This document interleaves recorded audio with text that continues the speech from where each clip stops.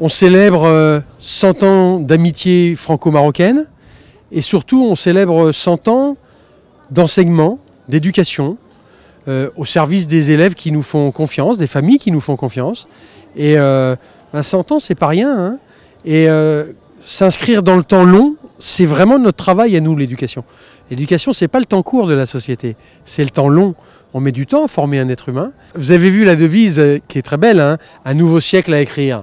C'est bon parce que euh, chez nous, c'est l'apprentissage de l'écrit, c'est la culture, la culture euh, marocaine aussi qu'on apprend à nos, à, nos élèves. Hein.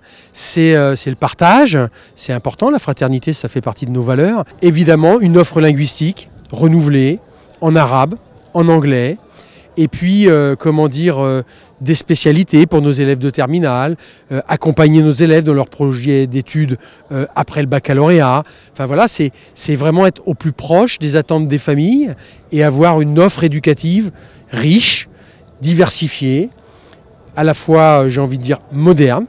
Donc voilà, c'est ça les enjeux pour nous dans, ce siècle qui vient. Ce qui est important pour nous, c'est de continuer d'enrichir tout ce qui relève du plurilinguisme.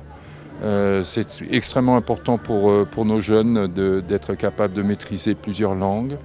Et puis, euh, bien sûr, un gros travail qui est quotidien sur l'innovation pédagogique, d'être capable d'accueillir tous les élèves avec leurs différences, d'être capable de les accompagner jusqu'au baccalauréat, tous, que chaque élève qui rentre dans le système français, quelles que soient éventuellement les difficultés qu'il rencontre, soit accompagné toujours pendant son parcours. Ça, c'est toujours un défi euh, pour, euh, pour nous tous.